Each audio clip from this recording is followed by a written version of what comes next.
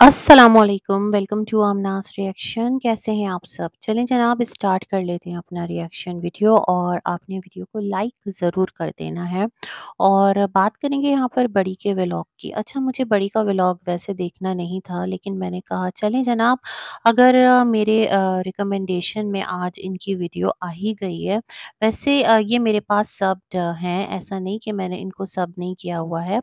She is but मैं इनके जो व्लॉग का नोटिफिकेशन है ना वो मैंने ऑफ़ कर रखा है तो बाज़ औक़ात ऐसा भी होता है कि आपके पास क्या के व्लॉग्स जो है ना वो रिकमेंडेशन में भी आने लगते हैं यानी आपको यूट्यूब रेफ़र करता है, है ना? ये वाली चीज़ भी होती है अगर आपने किसी को सब्सक्राइब किया हुआ है, नोटिफिकेशन ऑन नहीं किया तो भी इनके व्लॉग्स का नोटिफिकेशन आपको यूट्यूब की जानिब से ऑफ़ एंड ऑन अक्सर व बेशतर मिल जाता है। तो मैंने कहा, चले जनाब, देखते हैं आज इनका व्लॉग क्योंकि जो इनकी फ़ैन है ना, वो उन्होंने एक क्लिप लगाई थी और वो क्लिप लगाई थी उन्होंने एक और व्लॉगर हैं, जो कि इंडियन मॉम हैं और उनकी कोई क्लिप थी, उनको कुछ क्वेश्चन किया था उनके सब्सक्राइबर्स ने तो इस चीज़ को लेकर जो मोहतरमा हैं यानी जो फ़ैन साहिबा हैं उन्होंने पूरा जो क्लिप है वो सितारा पर फिट कर दिया था। तो मैंने कहा कमाल करती हैं पांडे जी आप भी, ये आपने क्या कर दिया, क्या कर दिया, है ना? मतलब एक व्लॉगर की बात को उठाकर आपने दूसरे व्लॉगर पर जो कह रही हैं कि जितने लोग इबादत दिखाते हैं या क्लिप्स कैप्चर करते हैं, डिफरेंट एंगल से कैप्चर करते हैं तो वो रियल नहीं होता बल्कि वो व्लॉग के लिए होता है। अच्छा इसमें कोई अ, वो भी नहीं है मतलब बहुत सारे लोग पता है क्या करते हैं? जिस तरह हम यहाँ वीडियोज़ देखते हैं ना बहुत सारे लोग नमाज़ का तरीक़ा सिखा रहे होते हैं, रुकू सुजूद सिखा रहे होते हैं। तो इस बात को ज़हन में रखकर भी मुझे लगता है बहुत सारे व्लॉगर जो कि मुस्लिम व्लॉगर्स होते हैं, तो वो अपनी एक कहते हैं ना अ, एक मैसेज कन्वे कर देते हैं अपने व्लॉग के थ्रू कि रमज़ान में इस इस तरह से हम लोग मामलात करते हैं। हो सकता है ज़ाहिर-सी बात है वो उस टाइम नमाज़ ना होती हो। देखें जो चीज़ मैं फ़ील करती हूँ ना उसको मैं बयान करती हूँ, मुझे उसको बयान करने में कोई आर नहीं है क्योंकि नमाज़ जब होती है तो बिल्कुल फ़ोकस्ड होके होती है लेकिन एक बतौर मुसलमान एक मैसेज कन्वे करना आगे कि इस तरह से नमाज़ पढ़ी जाती है, इस तरह से हम दुआ करते हैं ना? तो अ, ये वाली चीज़ मैं भी फ़ील करती हूँ और इसमें मुझे मैंने कहा ना कोई आर नहीं है।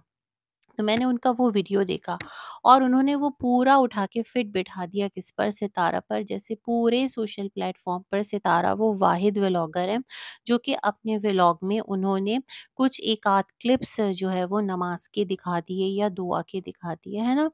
तो ये वाला काम इन्होंने किया और इनकी पूरी कोशिश थी कि ये सितारा को फेक साबित करें, लेकिन बड़ी और पीछे रह जाए नहीं भाई।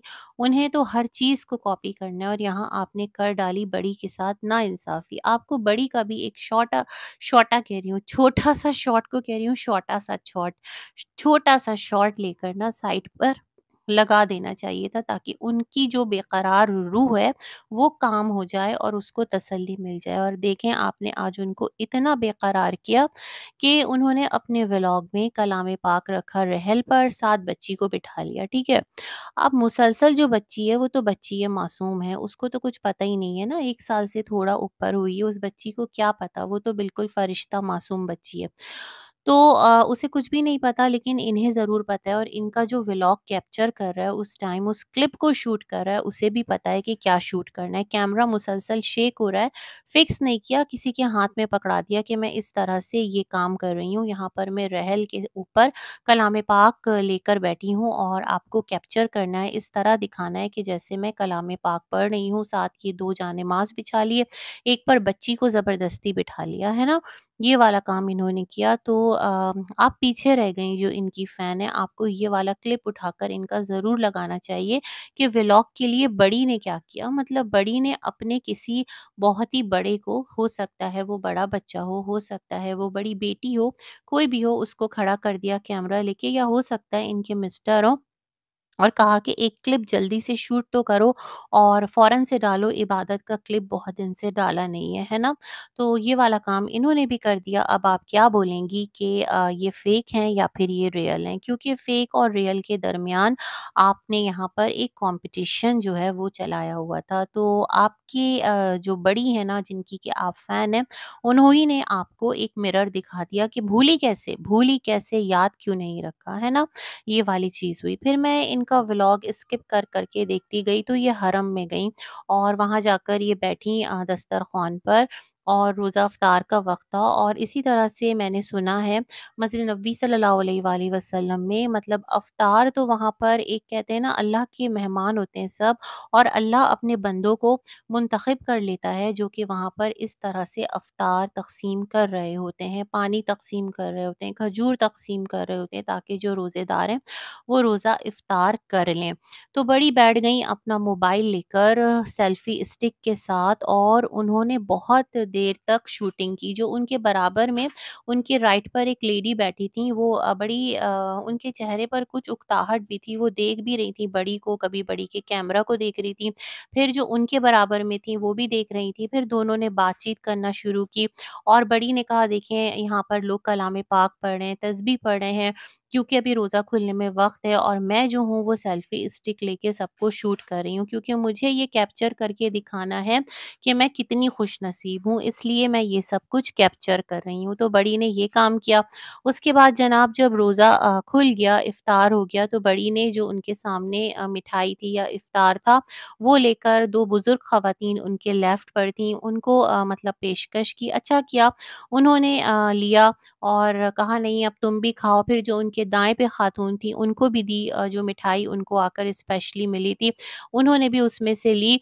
फिर जो बड़ी हैं वो इसी तग-ओ-दो में लगी हुई थी, नहीं पहले आप, पहले आप, पहले आप, पहले आप के वहाँ पर जो एक मुंतज़िमीन होते हैं, इंतज़ामिया होती है, मैनेजमेंट होती है जो सुफ़रा लगाती है, सुफ़रा कहते हैं ना, वो आ गए और वर्कर्स और उन्होंने सब कुछ रैप अप करना शुरू किया तो बड़ी एकदम से बड़बड़ा गईं और कहने लगी आराम से, आराम से, आराम से यानी भाई साहब आराम से, अभी तो बड़ी मोमेंट्स को कैप्चर कर रही थी। बड़ी जो है यहाँ पर प्यार समेट रही थी और यहाँ पर जो प्यार भरे लम्हात वो कह रही थी कि वो कैप्चर नहीं कर पाईं, लोगों का इतना प्यार मिला अपने व्लॉग के एंड में तो वो ये चीज़ दुनिया को दिखाना चाह रही थी और आपने इतनी जल्दी सब कुछ समेट के कहा कि बस बीबी बहुत व्लॉगिंग हो गई, इफ्तार भी हो गया, अब चलो सब जल्दी से नमाज़ पढ़ो और उठो यहाँ से अ, बहुत हो गई आपकी व्लॉगिंग। तो बड़ी ने कहा कि इतना प्यार मिला, इतना प्यार मिला कि बयान से बाहर है, मैं कैप्चर नहीं कर पाई।